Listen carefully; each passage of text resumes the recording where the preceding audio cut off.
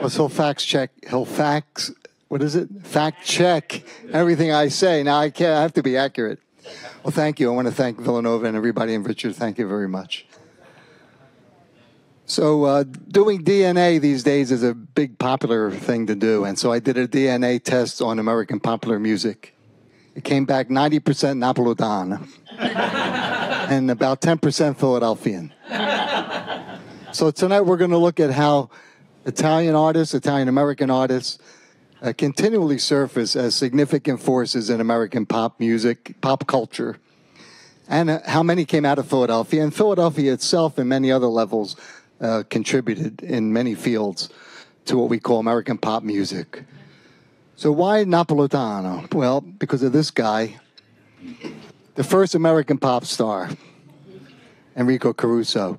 He was born in Naples. He was a uh, opera star in Italy for many years. Came to the USA in 1903. Why Philly? Because in 1904 he signed with the Victor Talking Machine Company out of Camden, New Jersey, and together they made history in American music. They really did. So we're going to look at all of this hopefully within an hour. It's a huge, huge topic. But you can't really talk about pop music without talking about the medium, how you get to hear it. And if you think about it, throughout history, there was no recording of anything until Edison invented the this wax cylinder system where you could get sound and listen to it back, which is pretty incredible, a portable sound concept. And um, that's what it looked like. But it was pretty rough. I mean, the quality of the recording was not very good, and it wasn't really uh, used by musicians. It was only two minutes long, was the maximum, and uh, it was more or less. You'd get vaudevillians doing uh, little routines or some jokes and things of that nature, something like this.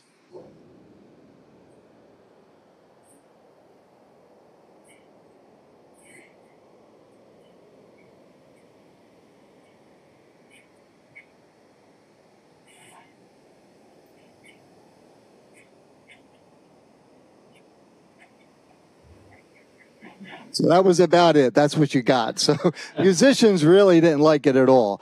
And the leading musician of the day was John Philip Sousa, his marching band. And he absolutely despised the whole idea of trying to record onto these terrible things. I'm going to read you a quick quote. There was a congressional hearing in 1906 which was uh, about patents already on the subject. And he he was uh, testimony said these talking machines are going to ruin the artistic development of music in this country. When I was a boy, you'd sing every popular song of the day. Today, you hear these infernal machines incessantly going night and day. The vocal cord will be eliminated by process of evolution, like the tail of man when he came from the ape. Pretty rough, but gives you an idea of what they thought of this. And it was tough on the musicians. Well, this is Sousa. His company signed a contract to record the band on Victor. He refused to conduct. None of the recordings were conducted by Sousa. He wanted nothing to do with it. That's a, that's a fact. This is what you had to do. You know, cram yourselves around, and you can see on the sides as well. Uh, you know, cram in front of this horn. You can see the violins up front, the poor bass player on this little rack there to get the bass sound, and try to get into that. And the, the, the singers had to actually put their face inside the horn and hope they didn't sing too loudly or it would start all over again. Really a, a mess. And and beyond that was the medium itself was a wax cylinder, and this is actually what it looked like. This would be one two minute song on here. And Sousa called it canned music. Ah. So if nothing else, you learned that where that came from tonight. I'll show you this. So that's the cylinder, and you'd pop it in that little machine and get two minutes of something, whatever it may be. So Victor was determined to eradicate that, that bad reputation and, and do something bold and musical. So where do they turn? This big star at the Met, 90 miles away, the Metropolitan uh, Opera House. And they signed in 1904 Enrico Caruso and as you can see, Caruso immortalized. This little ad talks about throughout history we had art and literature passed down, but never a human singing voice or musical performance, if you think about it. And this was immortalizing Caruso and grand opera at home. So this changed, as they say, everything, everywhere, all at once. They made a movie about him called that. it really did. I mean, imagine now. First of all, the uh, the process itself uh, was really good to a tenor voice. It, the, the tenor voice range worked well on those cylinders. Secondly, his instrument, his voice was, what could you say about Caruso? They claim when Puccini auditioned him for one of his operas, and he came in, he sang, and Puccini said to him, Who sent you, God? so he was quite unique. He also influenced the medium because uh, Victor at the time was uh, working with Emil Berliner, who invented the flat disc, the 78 disc, and it was going to be a big investment to switch over, and Caruso insisted they do so. You know, he heard that they only could make 120 of these a day, and his Neapolitan ego said, There's no way that's going to be enough. we have to go to these records. Plus, he couldn't envision his mom with the kids having hundreds of these all around the house. You know, that wouldn't have worked. So anyway, this is all evolving. Uh, Victor had studios in Philadelphia at the time, uh, right across the river. They opened this up in 1901 at 10th and Lombard. There's not much documentation, but this is where Caruso went to record. Uh, there is a clip from a, uh, a memoir from the engineer, and it quote, Upon entering our new quarters at 424 South 10th Street, 10th and Lombard, we were furnished with considerable excitement and quite a stir in the neighborhood outside with the people enthralled, enthralled with the thought of us making records. And what records they made were just amazing. The high quality of Caruso's voice, the new uh, sound of the, the 78 disc, uh, made it really a social sea change. Even the election uh, a few years later, 1912, the presidential candidates, Woodrow Wilson, it was a three way race with Taft, Wilson, and Teddy Roosevelt. They took advantage and started recording speeches and giving them out at rallies. So the first CNN there. um, here's Woodrow Wilson.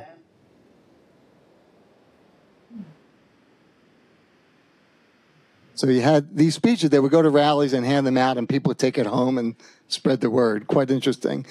But then, to get to the end of this little uh, phase, uh, in 1916, total revolution with uh, a little better quality recording and the recording of O Sole Mio, one-sided 78. This is it if you want to look at it later. Victor Talking Machine Company, Rico Caruso, the first million-selling record in the history of the United States, probably of the world. And we'll give one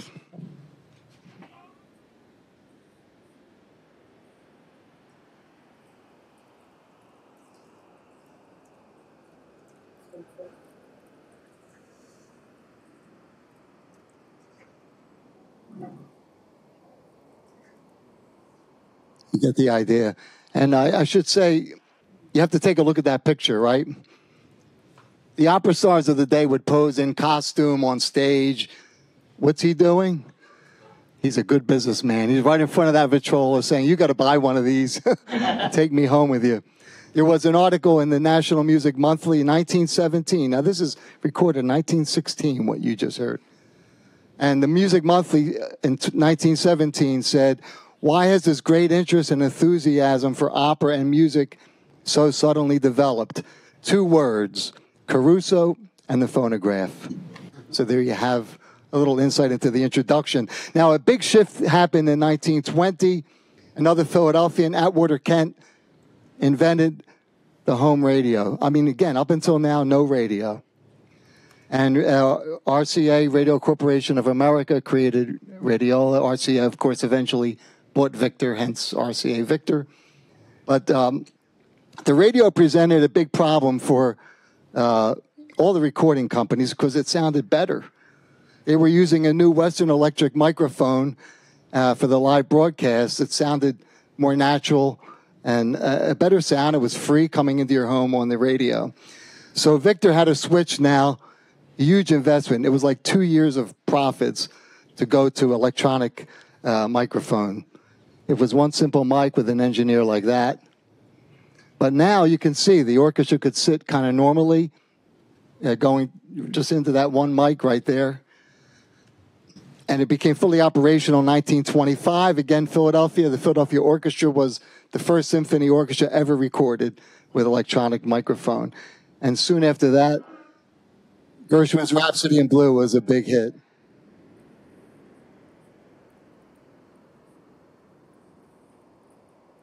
You can hear the violin now.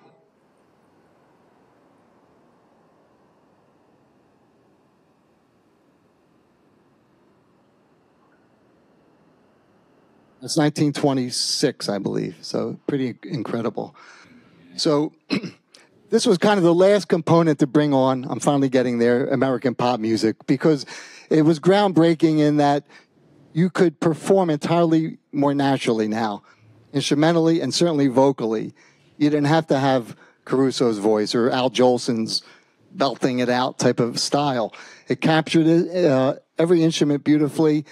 Uh, you're at the cusp of the jazz age, so you had bands coming into play that were new. You still had the euphoria of the, uh, uh, euphoria of the post World War One era, and as Richard would tell you, 1925, the peak of Italian immigration, 40 years of mass migration.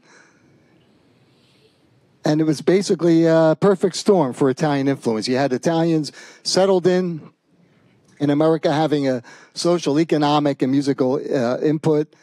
And who better than Italians with their natural background, right? The verismo is a word they use in opera, a realistic style of singing and performing, their history, their pedigree of, of, of, of talent, and their cockiness, their casualness, all these traits were natural to them and now being able to be captured in the new era of what was going to become modern music. Okay, we only have 100 more years to go now, so. Richard's getting sandwiches They're coming in at midnight. So now we're at the real start of the uh, American pop music, and we're going to look at it through two Philadelphia area Italian Americans, just as an example. You can't focus on everyone, obviously, in one, uh, one hour. So I chose Eddie Lang from South Philly, Salvatore Massaro, his real name, and Russ Columbo from Camden. Uh, these were two giants that we're going to talk about and just see what they did and how they kind of represent a lot of the Italian American uh, vibe. So uh, everybody wanted in now on the on the music scene, you know, and jazz was captivating Americans. Uh, Dixieland, of course, was the big thing, but a lot of the black bands in New Orleans couldn't get recorded except for maybe Louis Armstrong. But don't forget, there were a quarter of a million Sicilians in New Orleans. They called it Little Palermo, actually. And so they're interacting, they're getting this jazz influence. They had the talent and ability uh, of all the instruments, and it kind of melded together into something new. Uh, Louis Prima was 15 years old at this time as a phenom playing trumpet, a Sicilian down, down there in New Orleans. And of course, million more, millions more Italian uh, musicians in New York, Philly, etc. I mean, don't forget, America was 100 million people, and 20, a quarter of them lived in New York, Pennsylvania, and New Jersey, like 25 million. So it was natural. And of that, a big Italian uh, community. So it's not coincidence that this region produced so much. But the, the hot bands were adding strings and singers to the Dixieland. Therefore, Italians, again, were, were the perfect people. Paul Whiteman was um, the biggest star at the time with his orchestra and all the sidemen in these bands, many, many Italian Americans. Now, Paul Whiteman was a real businessman who wanted always the best, and he's the one that heard about Eddie Lang and Joe Venuti, violin and guitar, jazz players in South Philly. They grew up at 7th and Fitzwater, and um, he discovered them. They had already been making records and having influence, but by being in his band, now they had much bigger platform. So uh, he hired both of them. And with that exposure, Eddie Lang is really, again, Salvatore Massaro, uh, really considered the father of the jazz guitar. Now, at this time was also, there's Joe Venuti and Eddie Lang. And the Whiteman Band, there's Eddie Lang right up front there. So talking pictures were the big thing, and uh, sure enough, Universal wanted to top the jazz singer and produce their own musical. They hired Paul Whiteman to bring the entire band from the East Coast out to Hollywood to make a movie. uh, with terrible results, not musically or movie wise, but socially. they, I mean, imagine you had 25, 30, 20 or something kids in the band, suddenly famous, money. Uh, Ford Motor Company bought 30, gave Whiteman 30 Model A cars, one for each musician in California.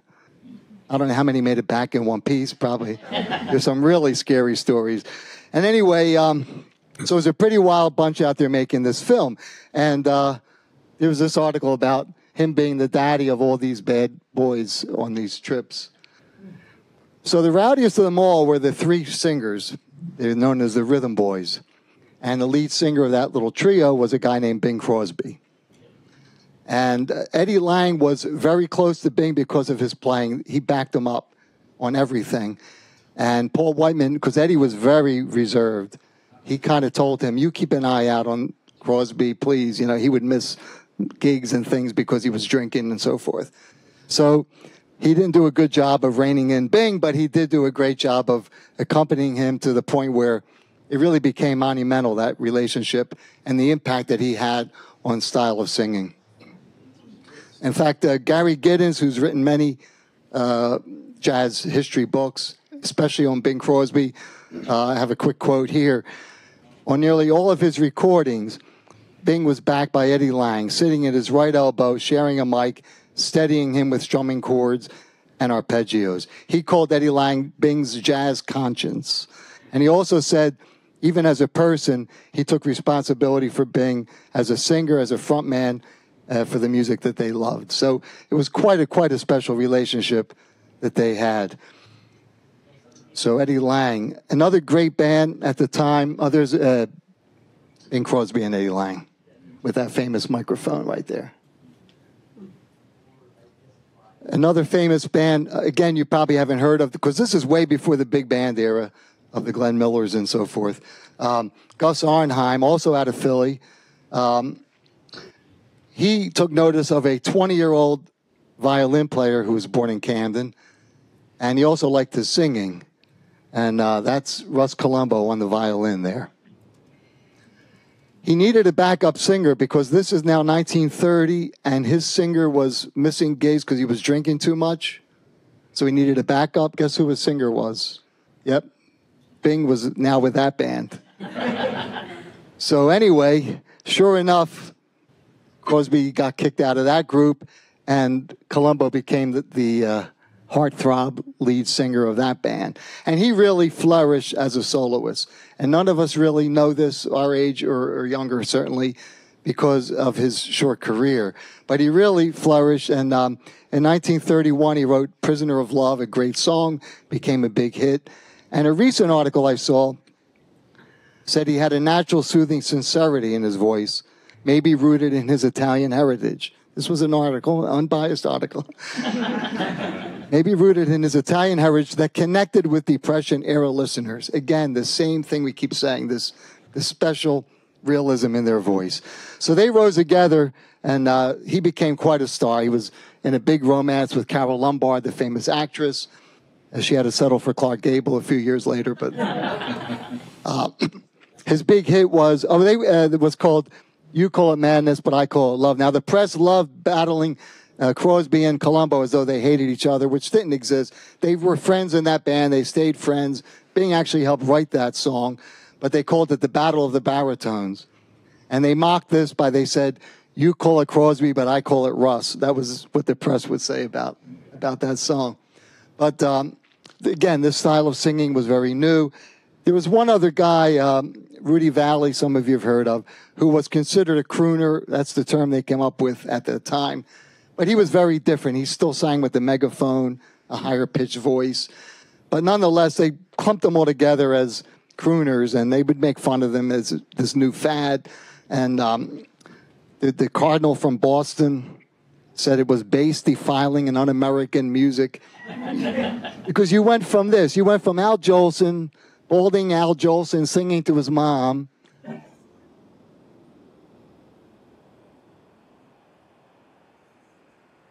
okay, to this, the singing Valentino, right?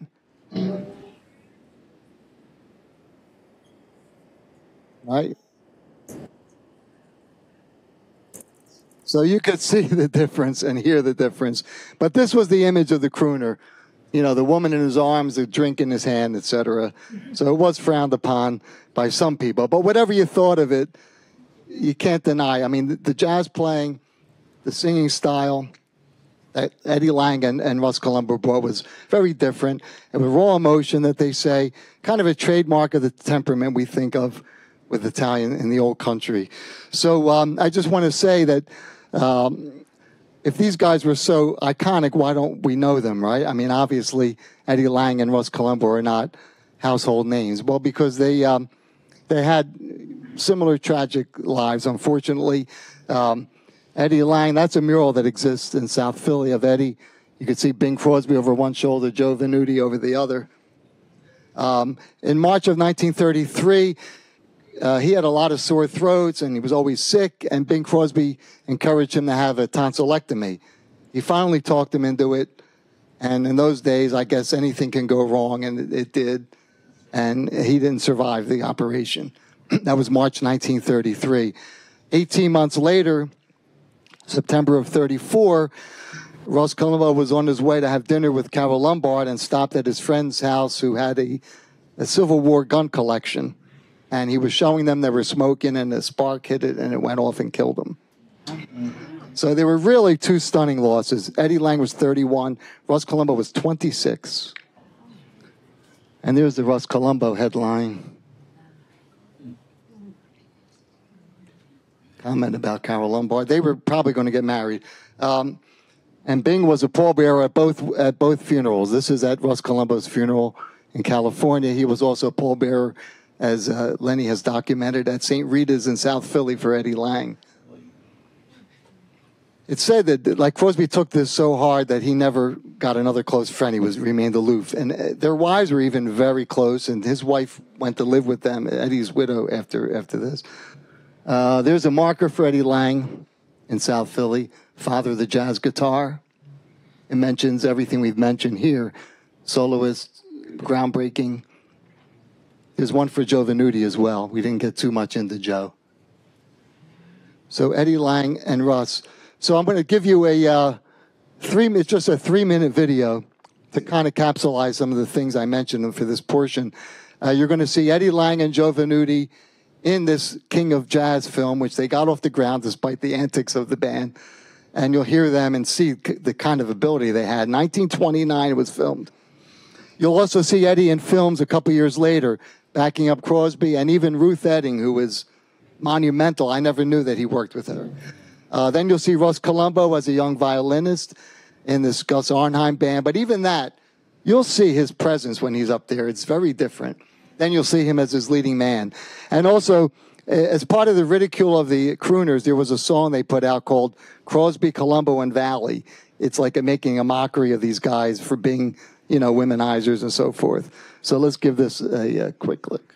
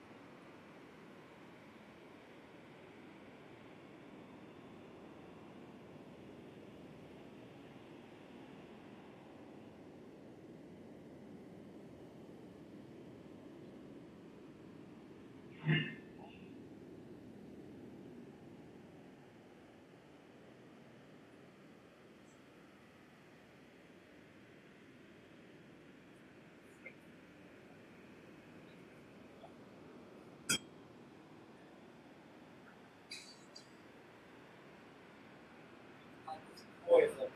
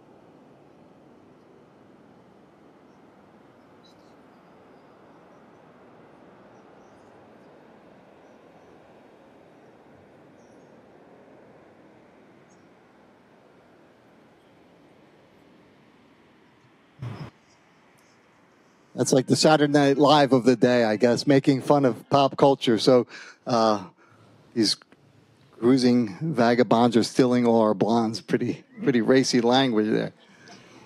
All righty. Well, anyway, so we're halfway through, and I haven't used the F word yet. I'm sorry. I'll get to Frank now, though. because now we're getting into the big band era, which I can't possibly expound upon. That would be another whole week. so but just be it said that uh, 30s and 40s was obviously the big band era. And again, Italian American musicians, sidemen in every band.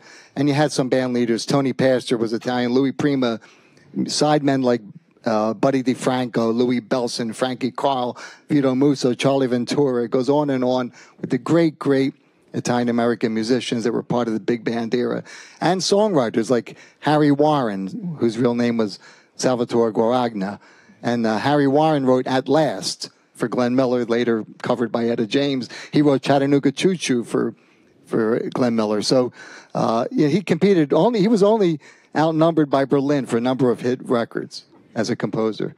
In fact, when they bombed Germany during the war, he said they bombed the wrong Berlin. They, they, had like a funny feud going on, but they were really the tops. Uh, vocalists. Now, the vocalists were secondary to musicians clearly at the time, but you had them obviously. And again, Italian Americans, Johnny Desmond, Sergeant Johnny Desmond in the Glenn Miller Air Force Band, Johnny DeSimone, his real name. And of course, Frank uh, with the Tommy Dorsey Orchestra. From 1940 to 43, Dorsey and Sinatra had 23 top 10 singles in a couple years. The Dorseys, Pennsylvanians, by the way, up near Pottsville. So Tommy and Jimmy Dorsey the second most famous family next to Yuengling from Pottsville. but again, we're not going to get into the big band era, but let's look at it, how it leads to the golden age of the vocalist and the Italian American vocalist in particular. Uh, you know, toward the as the war wore on, it was more and more difficult to keep the big bands going uh, because you know they, they were all fighting age guys in the bands. They had to go overseas, gasoline rationing. They couldn't tour. People couldn't go out to the ballrooms. They were often out of town. And then there was the 1942 musician strike, uh, led by a famous or infamous Italian, uh, James Petrillo. Um, there was a big dispute over royalties. It kind of has never been resolved to this day uh, with musicians and royalties on recordings. And uh, he called the strike. So whether it was well grounded or not, it nonetheless backfired. It really helped kill the rest of what was left of the big band era. And uh, Petrillo was a household name, by the way, because people followed the bands like they were ball players. They knew, oh, the sax player from Glenn Miller went over to Benny Goodman and like trading in teams. So consider him like the NFL commissioner or something like that. He was known by people. And um, it was quite a debacle. So record labels had to scramble to uh, release old things that they found. Harry James came out great because he found a 1939 recording Sinatra had done of All or Nothing at All. it had never been released. Now, by 1942, Frank was with Dorsey, but uh, he had a big hit with Harry James after the fact. But the singers were not part of the musicians' union. Or as we like to say, what do you call a singer? Somebody who hangs out with musicians. I'm sorry, guys. But So they were not part of the union, so they were not subject to the strike. So they continued to record, and they would use backup singers as like a vocal cushion. I'm sure you've heard those kind of things. And um, so between all of that, as the war ended, tastes were changing. Uh, the strike and everything else that happened really gave way to the solo singer now. Of course, Frank Sinatra, Perry Como. 44, Sinatra went solo. Perry Como came along. He was not well known as a big band singer. He was with Ted Weems, a guy who went to West, West Philadelphia High School. Um, and the band was okay, it was popular, but not to the extent that Frank was. But as a soloist, Perry Como really soared. And there's a, a, note from a music journal. There was one clear winner to come out of the musician strike, Perry Como. Now, he wasn't from Philly, but he was from the Abruzzese enclave in Canonsburg, PA, uh, out near Pittsburgh, where my grandfather, grand, my sister's here, our grandpa grew up, he went there from Italy. He claims to have known the Travaglini family, which was Perry Como's mother's side. Now, I don't know if it's true. Probably. And that's 10 minutes over the Ohio border to Steubenville, where Dean Martin is from, all right, just to give you a little. So we could claim everybody as Philly. What's a couple hundred miles? Steubenville had a huge Italian population. Dean Martin didn't even speak English till he went to elementary school. Never had an accent, but it was indiscernible, but that's a fact. So Sinatra and Como were very, very different in style. But again, you keep reading. If you, I did a lot of checking because I knew um, Richard would check anything I said that wasn't true. So I did a lot of Googling before tonight to make sure the stories I've heard over the years were true, and I got rid of some. but I, I found an article talking about their different style, but they both conveyed, quote, an honest, comfortable vibe, something the public was yearning for after years of war. So again, this kind of running theme. So here we have it again, confluence of forces, right? A new age of singing uh, and music in general. And it really kicked off the golden age of the Italian American singer. You had 20 years, really, from the end of World War II up until 1964, uh, when Italian Americans just dominated the charts. It's pretty incredible.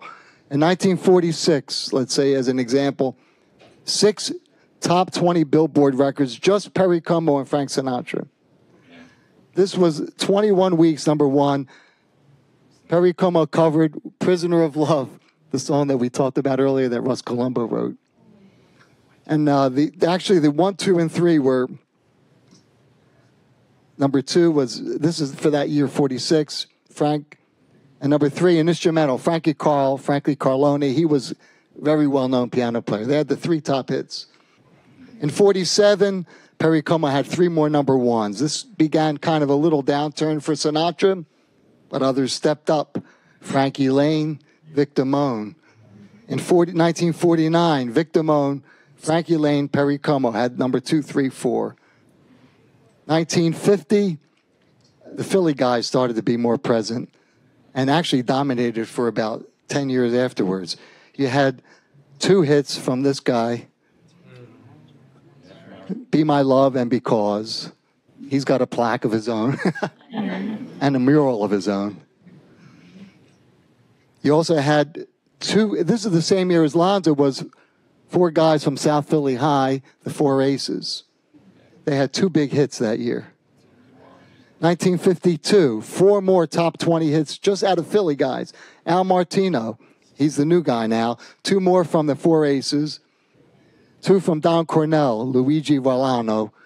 He's not from South Philly, though. But now we're getting into, you know, Richard mentioned, and I've been asked to kind of tie in some of my personal connections. And the last three I mentioned are all people I had the fortune of working with many years later. That's Don Cornell. That's me, the kid with the red glasses on the back. He's probably in his 60s there. That's us with the four aces many years later. And there I am with Al Martino. That's his other friend, but I don't know how that got in there. But um, 52 and 53, Tony Bennett, Dean Martin. Now, and plus Sinatra coming back as a superstar for the second time. Tony Bennett, Dean Martin. 1954, Louis Prima. Now, we mentioned him earlier as a really cutting edge trumpeter in New Orleans and composer of jazz. But now he reinvents himself. Keely Smith, the whole lounge act thing, recordings, big, big superstar, 1954. And on that note, I should mention by now they're so strong, they could pretty, pretty much do no wrong. They started actually doing Italian songs, and Americans ate it up. I mean, Prima did Way Marie, I Want to Be Americano. Al Martino did I Have But One Heart, Vicino Mare, Non Dimenticar. Damone had You're Breaking My Heart, Piso Mattanata. I mean, I mean, real hardcore Italian folk songs being sold as pop music and uh, pretty incredible. Harry Warren, Salvatore Guaragna came back and wrote That's Amore for, for Dean Martin. So. That's Harry Warren with one of his 11 Oscars for Best Song, if you could imagine. This is 1957, and Affair to Remember was his composition. The hit was sung by Vic Damone, another Italian American. So that same year, Bobby Darin becomes a sensation. So if it sounds exhausting, it's because it was. I mean, you know, you couldn't make it up. And with early rock and roll, the, the streak pretty much continued. Uh, in 1957, this is Charlie Gracie, guitar player from South Philly, actually from two blocks from where I grew up. Um, he was a major influential guitar player, and um, he had two big hits in 1957 Fabulous and Butterfly. And Butterfly knocked Elvis off the charts.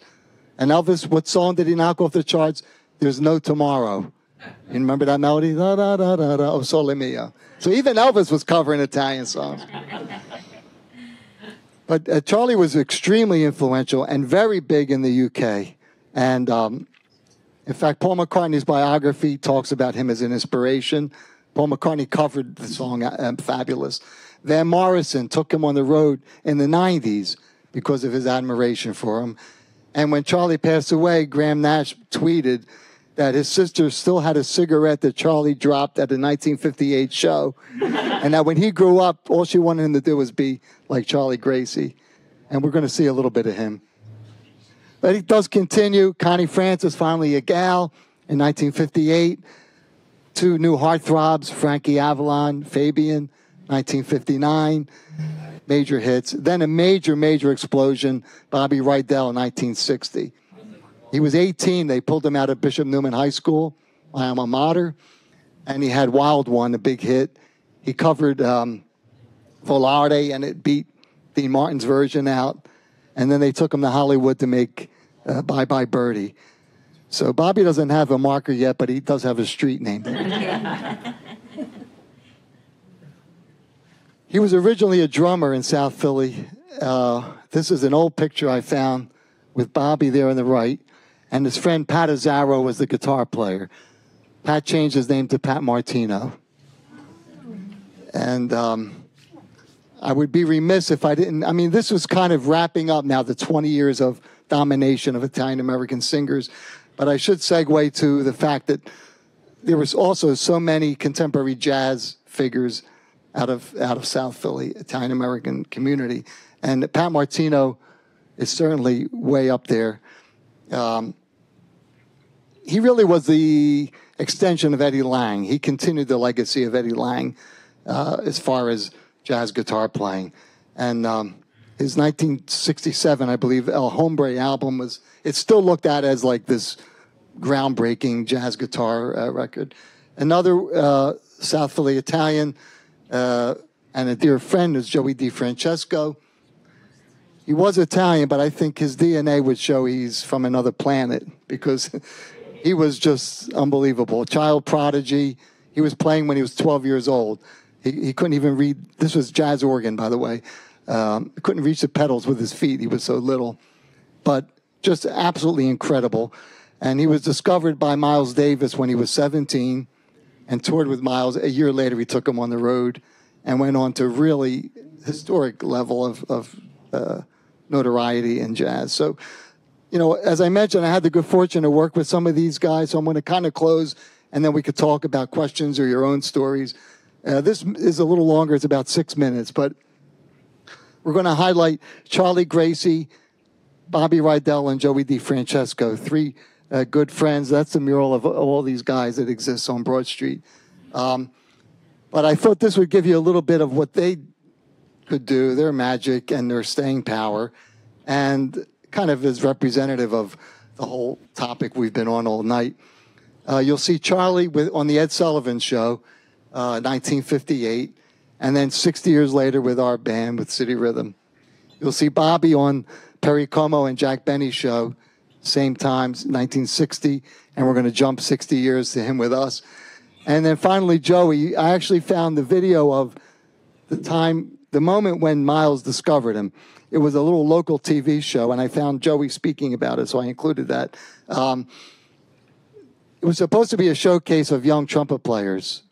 So if you're not a jazz fan, Miles was the penultimate jazz trumpeter.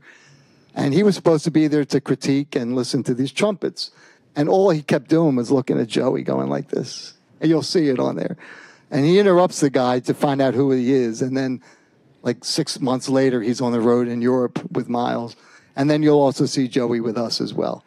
So let's take a look.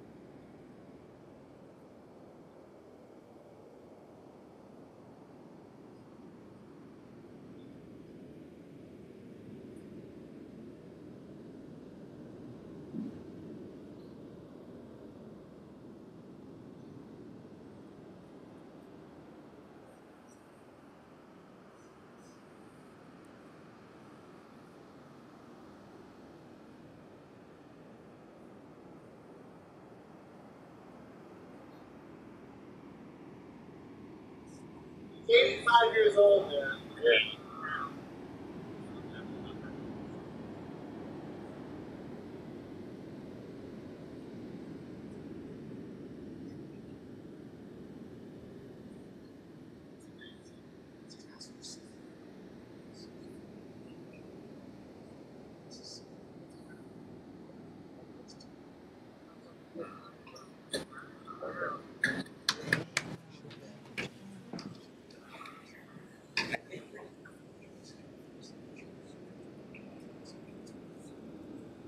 Got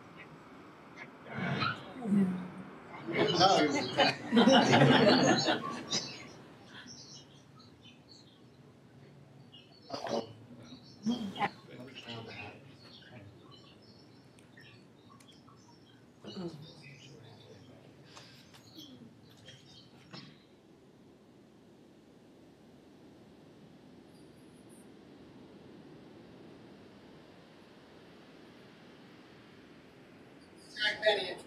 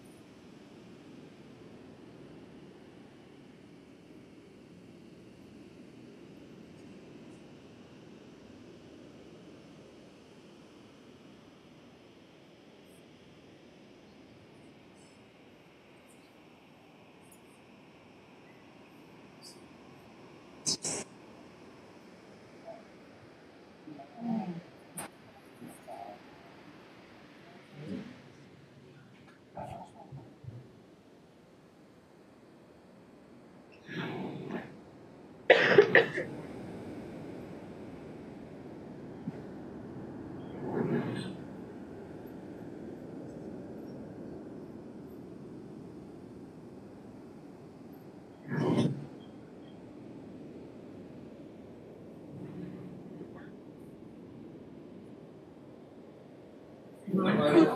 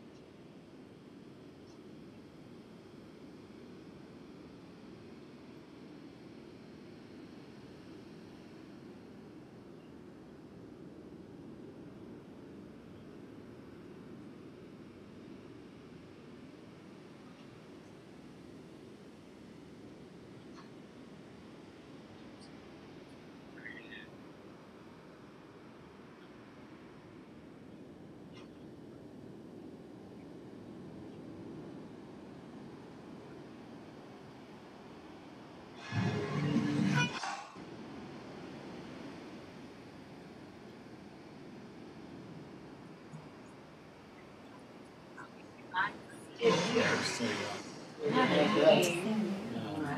as you saw, the um, we lost all three of them last year in, in 2022. I did have a uh, let's see. This, this is all the names you could take a look at with their real names that we talked about, and some I didn't get to.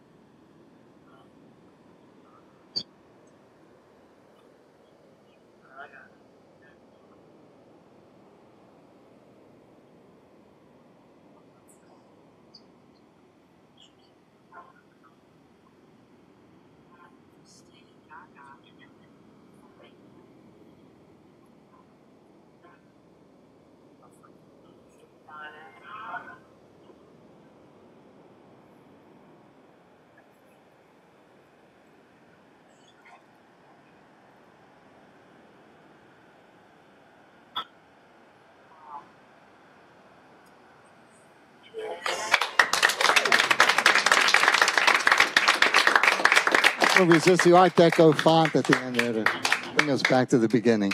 Well, anyway, I appreciate you all being here. I want to mention, as I alluded to, I did a lot of uh, Googling around and checking stories and looking through books because a lot of these things were just in my head over the years. And I found amazing other, like, we're not the first people to come up with this.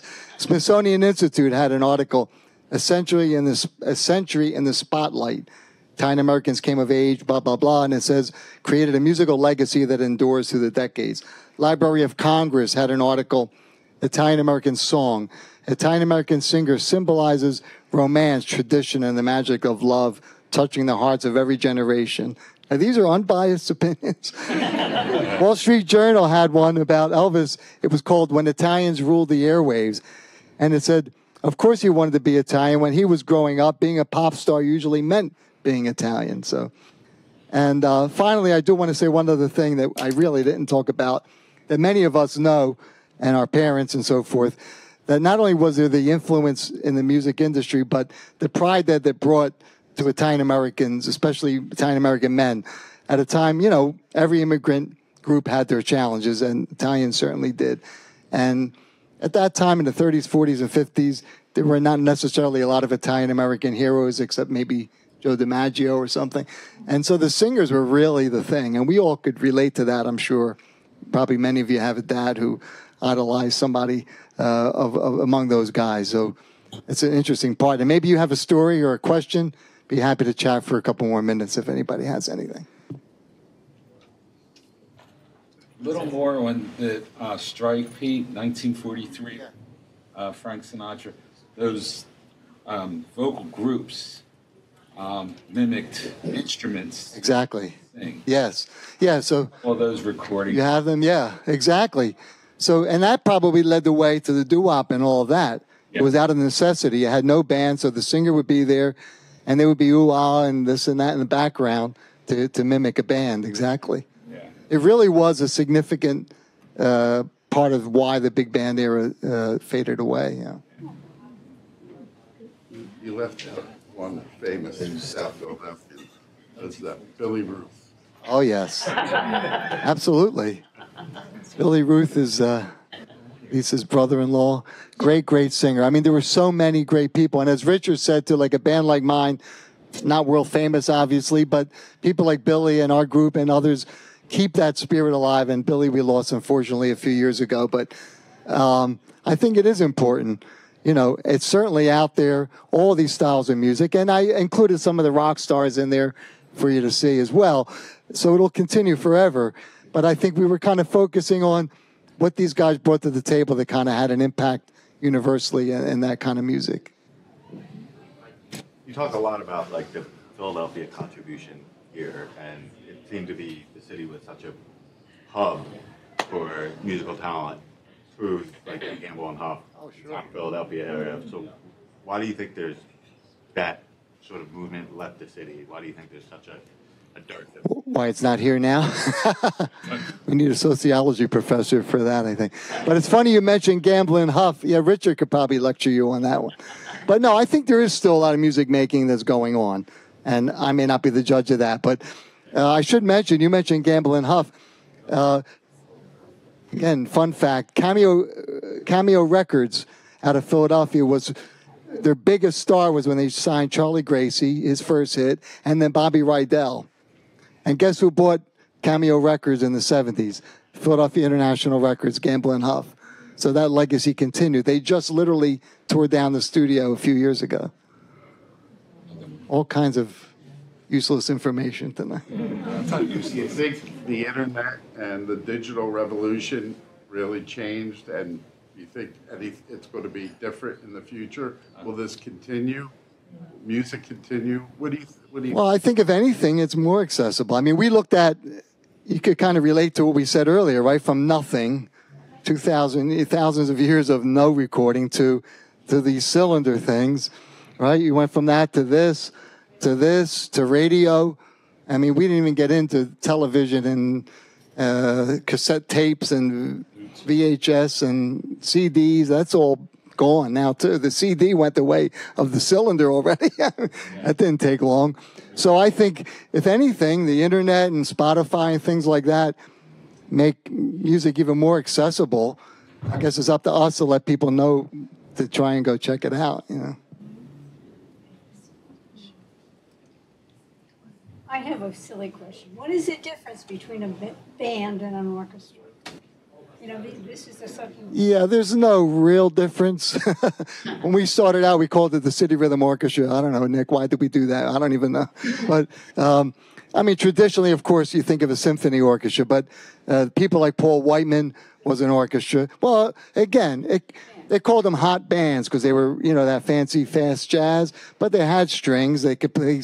Rhapsody in Blue was Paul Whiteman orchestra.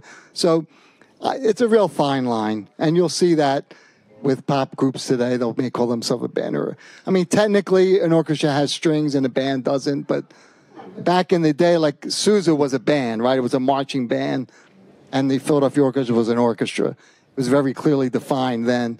Now it's a lot more blurred. Before Sousa, the guys who founded the U.S. Western Band were from Italy, were they not? Absolutely, yes. So Richard's asking about the whole idea, the marching bands, and those of you that know our uh, the, the parish that Richard alluded to in South Philly, we still maintain that uh, the processions with the old Italian marching band music. So yes, that predates Sousa. I wasn't going to take credit for him, but now you reminded me. There's a great moment in the music man when uh, Professor Hill says, the great, what's the name of the band he mentions? He wants to be like the great. And it's one of the- Yes, one of exactly. Yeah. Or something. Yes, an Italian. Right. YouTube. Well, a lot of the Italian they came over here as well. They did travel here. The Italian marching bands. Yeah. And then he goes, Again, absolutely. Right. Well, I really appreciate you coming out tonight. I hope you enjoyed it and maybe learned a little bit. And thanks again for having me. Very much appreciate it.